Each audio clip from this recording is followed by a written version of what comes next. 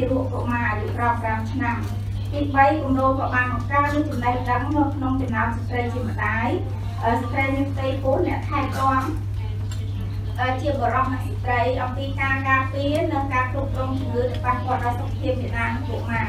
ទី4គឺបង្កើនចំណេះដឹងនិងការអនុវត្តនៅក្នុងចំណោមស្ត្រីក្នុងវ័យបន្តពូជអ្នកថែទាំបរិសុទ្ធនិងស្ត្រីនិងយុវជនអំពីអាហារូបត្ថម្ភសំខាន់សំខាន់សម្រាប់ហេតុអីបានជា ដូចជាគ្រប់អង្គការឲ្យរួមទាំងអស់ផ្ដោតការយកចិត្តទុកដាក់ទៅលើបញ្ហានេះចា៎ហើយអបានវិញនេះក៏ខ្ញុំសូមកោតសរសើរដោយស្មោះចំពោះលោកវិសូដំណើរប្រធានអង្គការអន្តរជាតិដែលលោកបានមានប្រសាសន៍យ៉ាងក្បោះក្បាយចានិយាយទៅគឺគាត់និយាយភាសាខ្មែរបានល្អច្បាស់មែនទេសូមអរគុណហើយក៏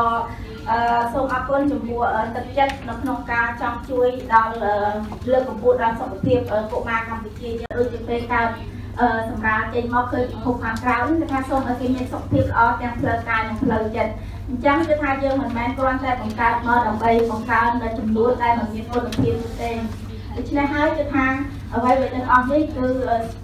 ទាមទារឲ្យយើងទាំងអស់គ្នាខិតខំប្រឹងប្រែងទាំងអស់គ្នាហើយដើម្បីឲ្យការងារនេះអនុវត្តបានល្អគឺយើងត្រូវតែ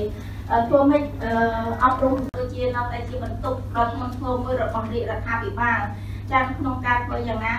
ទប់ស្កាត់នៅបញ្ហាកង្វះអាហារូបត្ថម្ភក៏ដូចជាធ្វើឲ្យប្រសើរឡើងស្ថានភាពអាហារូបត្ថម្ភចាហើយយើងឃើញថាឥឡូវនេះគឺកុមារក្រមថាបញ្ហាអាហារូបត្ថម្ភគឺជាបញ្ហាចក្ខុវិស័យពហុវិស័យចឹងហើយគឺថាទាមទារឲ្យមានការចូលរួមចាជាលក្ខណៈអន្តរក្រសួងគ្រប់ភាគីពាក់ព័ន្ធទាំងអស់